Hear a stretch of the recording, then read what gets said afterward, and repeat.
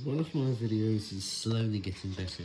It went from a 4% like to dislike ratio two days ago to a 5% like to dislike ratio, although it is still very low for the time, and it's also resulted in me hiding the like counter on the video.